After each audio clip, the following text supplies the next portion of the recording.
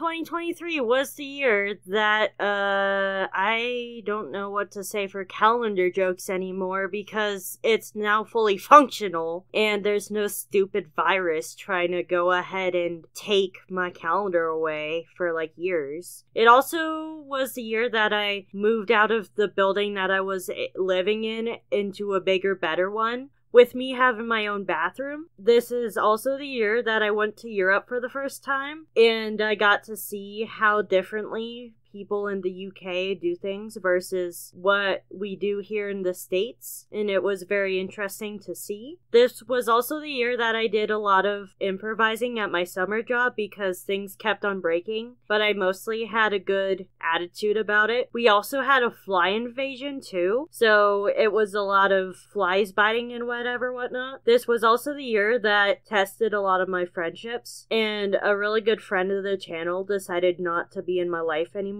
I'm not going to mention the situation because I don't want fight to break out, but I want to thank all of my friends that were faithful and stuck by my side, and I even made some new ones. This was also the year that I realized that channel breaks are important and resting is okay. 2023 was also the year that I decided to be more open about being neurodivergent on the channel and decided to be more open about transitioning and gender. This was also the year that my original computer for the channel died and I got a new one. And then later on, my drawing tablet's cord got frayed, so I got a new drawing tablet as well. 2023 was also the year that I got a job at where I'm currently living as well as my school. This is also the year that I ended up accidentally eating more fast food than I expected to. Whoops. This was also the year that I finally figured out what kind of environments make me feel overstimulated. This is also the year that I ended up taking more traditional drawing classes through a professional class, which we did a way more charcoal work than I expected. Also, charcoal was way messier than I thought.